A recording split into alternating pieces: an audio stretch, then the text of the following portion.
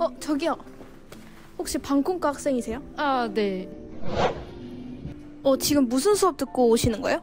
저는 미디어 효과 수업 듣고 오고 있습니다. 어, 그 수업에 대해서 간단히 얘기해 줄 수 있나요? 어, 이 수업은 이제 이론과 실습이 정말 50대 50으로 적절히 섞인 수업인데요. 뭐 이제 발표 수업 같은 거나 팀플도 있고 또 이제 미디어 효과에 대한 이론들도 다양하게 배울 수 있는 다양한 지식을 쌓을 수 있는 수업이다.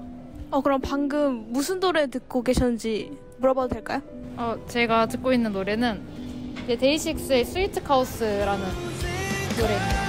꼭 들어보세요. 네, 감사합니다.